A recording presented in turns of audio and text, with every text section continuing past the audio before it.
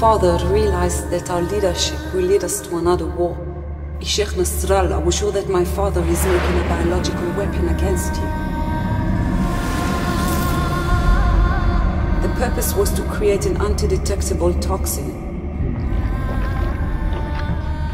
But something went wrong. יש פה סוג של בלגן שלא אתה ולא אני מכירים. מה זה? אני לא מצליח לזהות, אבל בטוח יש שם משהו. מהמשימה הזאת חוזרים רק בדרך אחת. מה קורה פה?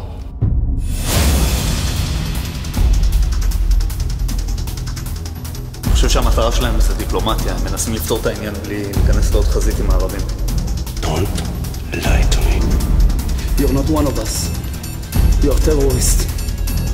זה לא חיזבאללה, אנחנו מכירים חיזבאללה.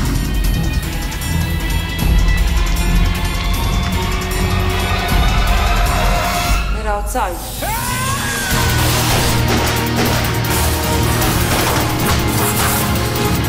They were sent on a suicide mission and they're acting under control.